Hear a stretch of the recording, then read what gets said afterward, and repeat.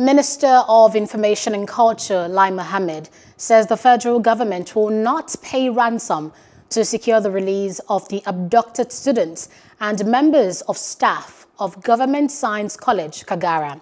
There have been unconfirmed reports circulating on social media that the government had paid a huge amount of money to secure the release of the Kagara abductees. But Mohammed insists that talks that the government paid ransom is simply a conspiracy theory. On Wednesday, February 17th, armed men in military uniforms raided the Government Science College in Kagara, Niger State, killing one student and kidnapping about 42 people, including 27 children. We have now invited two guests, social commentator Yemi Daniels and political analyst Durudin Adegbenro to discuss this. Good evening and thanks for joining us.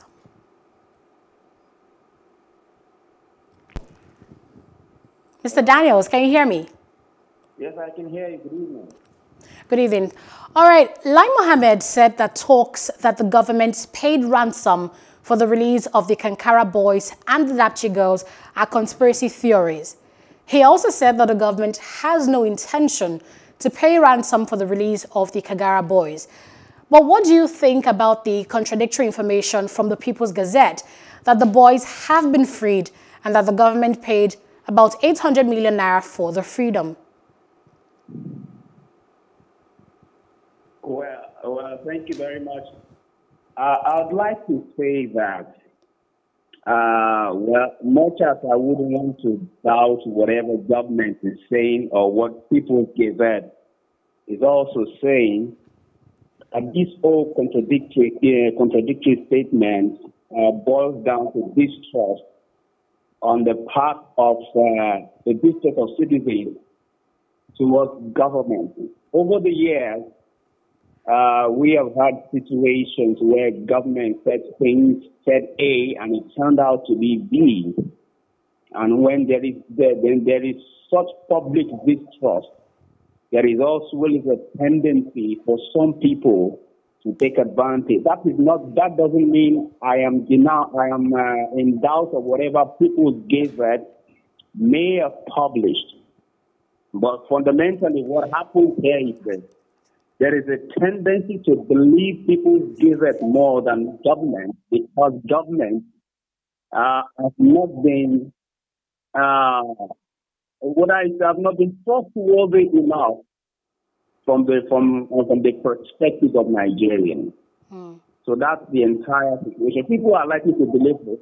People's Gazette a lot more, to be honest with you, given the antecedents of government in terms of handling uh, terrorists. I would say it again, I do not consider bandits.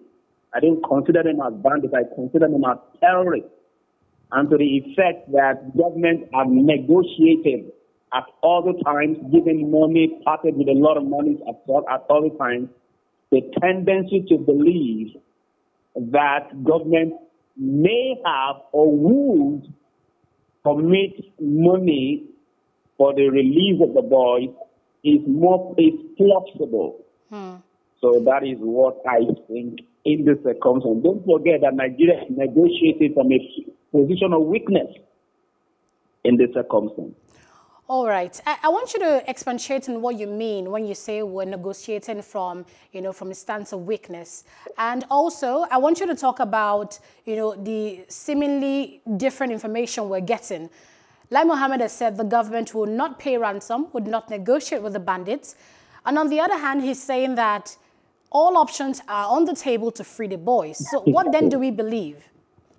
Uh, so you, you, you would agree with me they use words like kinetic and non-kinetic approaches.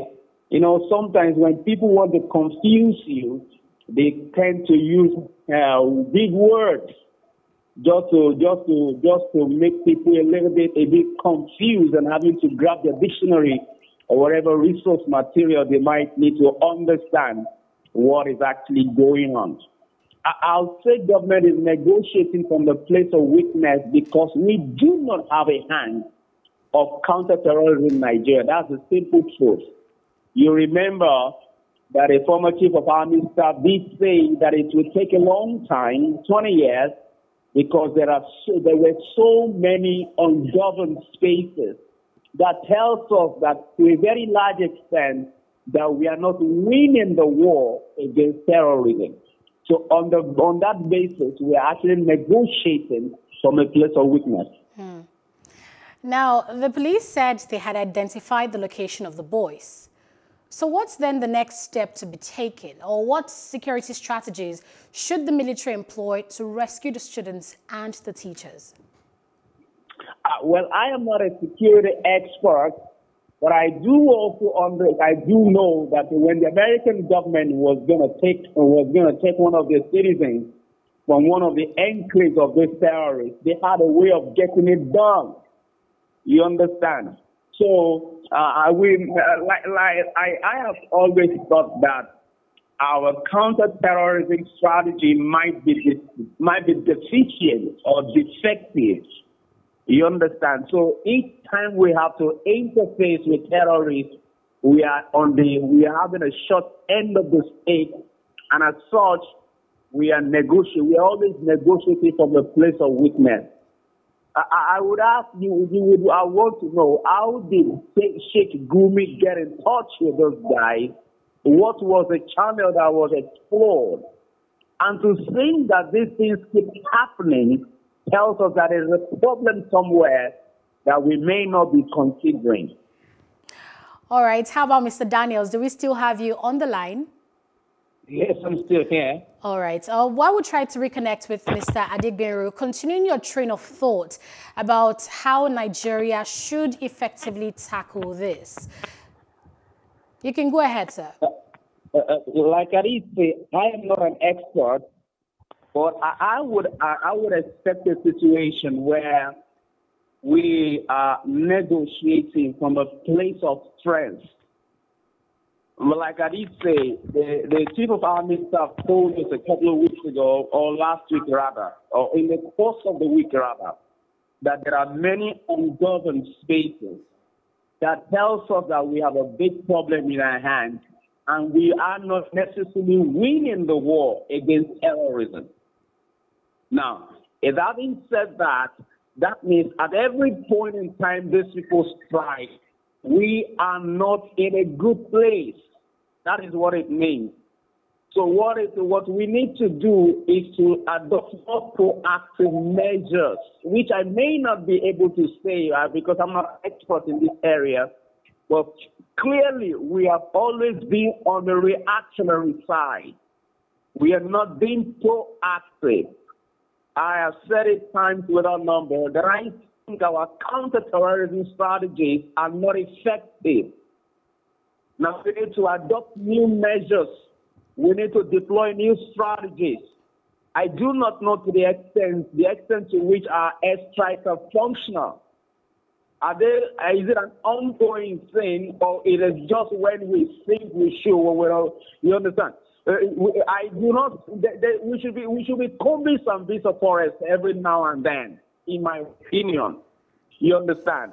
That there should be ongoing, continuous assault on that region so that these guys know that we mean business.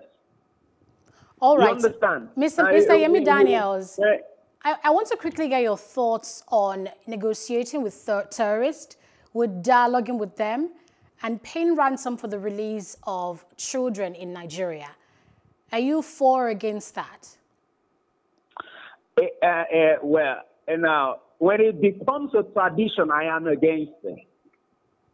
To the best of my knowledge, it has become a tradition that every time we have this situation, we have to pay ransom.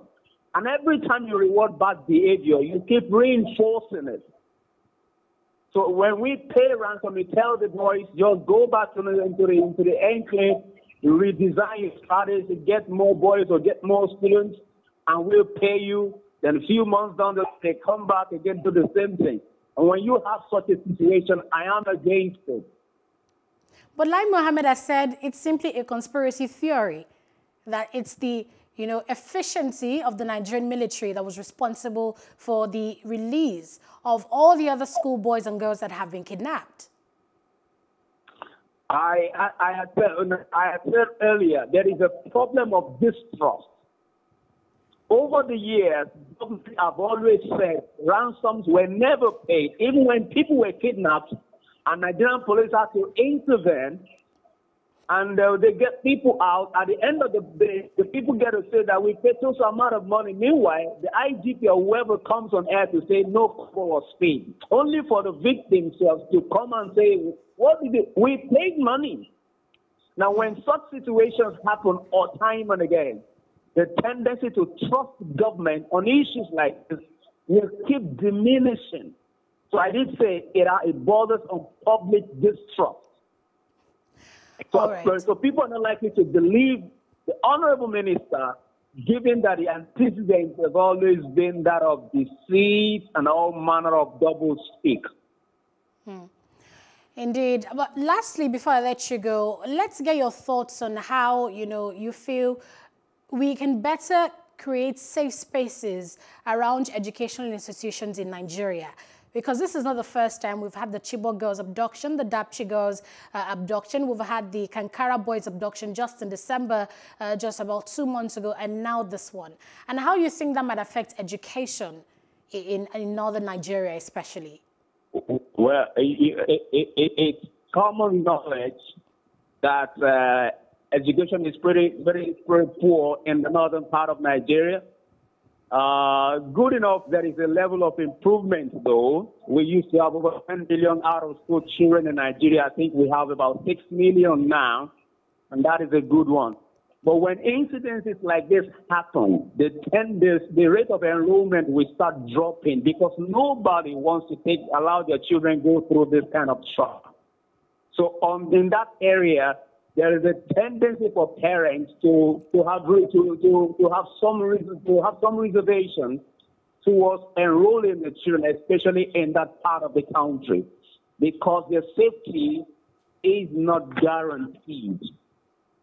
Hmm.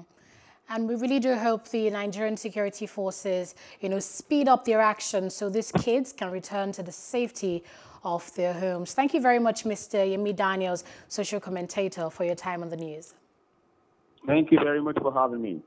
Hello, hope you enjoyed the news. Please do subscribe to our YouTube channel and don't forget to hit the notification button so you get notified about fresh news updates.